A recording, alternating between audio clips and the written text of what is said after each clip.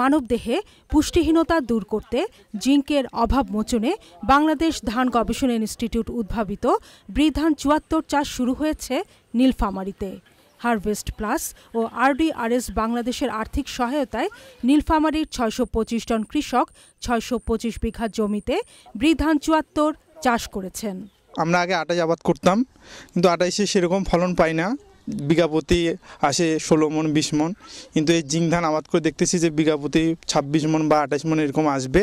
এই ধানের মধ্যে জিঙ্ক থাকার কারণে বাচ্চা কাচ্চাদের জিঙ্ক হ্যাঁ জিঙ্কের অভাবটা পূরণ হবে। এই জন্যে ধানটা আবাদ করা।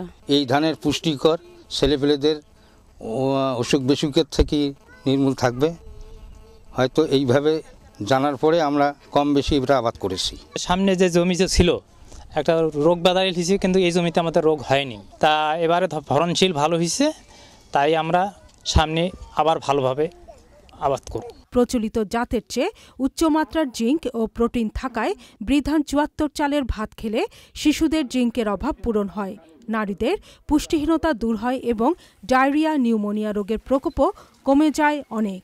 ব্রো সিজনের জন্য এটা অ্যাপ্রোপ্রিয়েট এবং ব্রো সিজনে এটা দেখা যাচ্ছে যে জিঙ্কের মাত্রা বাইশ দশমিক জিরো মিলিগ্রাম প্রতি কেজিতে জিঙ্ক আছে। সর্বোচ্চ পরিমাণ জিঙ্কের চুয়াত্তরের মধ্যে আছে।